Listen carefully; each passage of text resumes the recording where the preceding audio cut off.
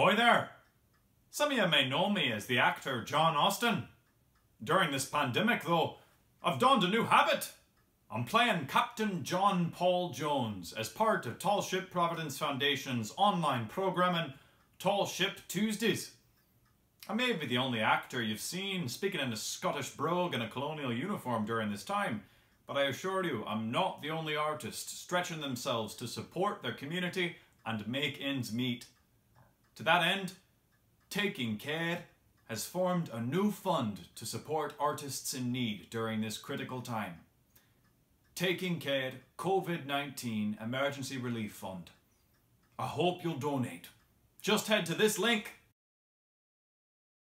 And if you're curious about what Captain Jones and his crew might be up to, just head to tallshipprovidence.org backslash tallshiptuesdays backslash.